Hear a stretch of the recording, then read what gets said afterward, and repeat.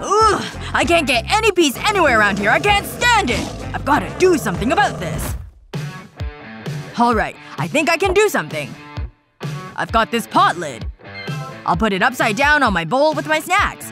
Now I need something she doesn't like. Broccoli should work. I'll just put these florets on top of the pot lid. They're covering up the cheesy puffs. No one will be able to see them.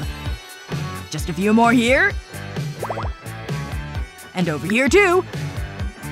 Perfect. Now I can get back to my movie.